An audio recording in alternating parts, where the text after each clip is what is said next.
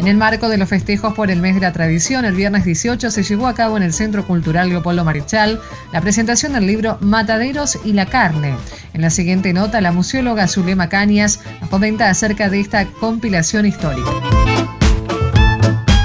Eh, Zulema Cañas, nuevamente bienvenida a Maipú, este, una visitante asidua con sus aportes culturales continuamente viniendo a nuestra ciudad, en este caso para presentar una compilación un trabajo muy interesante acerca de la historia de la carne en mataderos.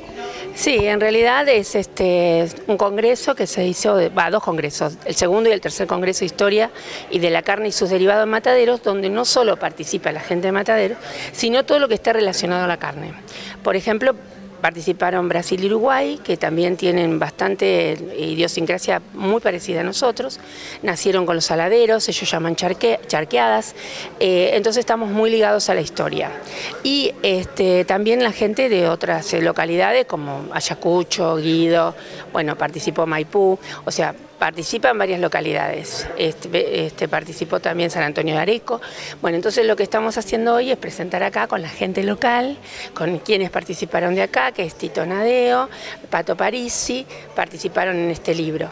Y, de los que están más cerca también, como van a participar Fernando García, que es de Ido, y este, La Valla, este, que es Cipriano La Valla, que es de Ayacucho, que también va a poder participar hoy. Tenés que recordar que nuestro país nació con el ganado.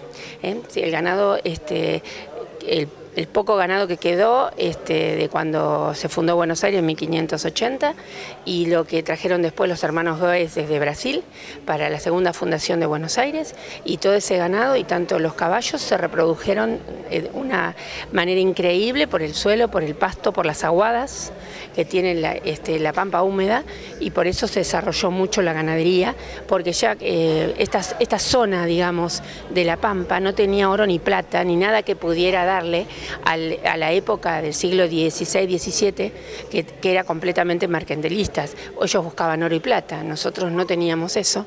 Entonces este, nuestro potencial fue la carne y los cueros principalmente, que se exportaban este, a Brasil, eh, perdón, este, se exportaban sí a Brasil para a Inglaterra, primero los cueros y al charque o carne salada, que se exportaba a Cuba y a este, Brasil. Así que realmente eh, nuestra economía grandísima empezó con esto. Hasta Rosa llegó a tener tener este, casi 20 saladeros, o sea que exportaba muchísimo cuero. Eh, nosotros no consumíamos casi la carne, el gaucho sí consumía la carne, la carne era algo muy barato, no es lo que nosotros vemos ahora, y realmente nuestra economía y nuestra gran, gran economía fue la carne. ¿no es cierto? La exportación primero de, cuero, después la carne, la carne salada, después la carne refrigerada, refrigerada cuando se instala este, eh, el, sistema de refrigeración de Telier y entonces ya empezamos a exportar todo frío y bueno, y nunca paramos, tuvimos grandes, este, grandes épocas este, de la historia argentina que esté relacionada a la carne. Así que es eso. En realidad ese es este, bueno, unitarios y federales, que fue este, este gran dilema de la Argentina, ¿no? Esta, yo diría ahora, como diría, una gran grieta. Eh, pero realmente eh, el saladero, eh, lo que vos mencionás de Esteban Echeverría, fue uno de los primeros mataderos que estaban en barracas. Después estuvieron en este Parque Patricios y el mataderos que hoy nosotros eh, tenemos en, mataderos, eh, es el mercado de Liniers, que no es matadero sino mercado, que solo se remata el ganado, como hace 127 años. Pero eso este, estaba situado en otro matadero mucho más antiguo, que era de la época de Rosas. Esto nosotros ya somos más modernos, digamos. ¿Por qué Mataderos? ¿Por qué Liniers eh, para toda esta cuestión?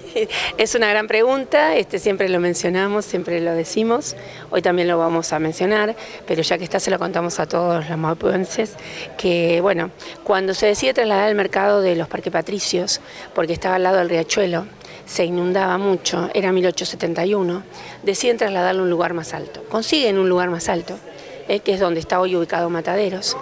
Eh, y ese lugar era Casa de Quintas, lo compraron, el gobierno compra ese, predio de campo y es, un lugar alto, ¿no es cierto? Si uno se pone en Avenida Los Corrales, y General Paz y va a mirar que hacia los dos lados baja terriblemente las calles.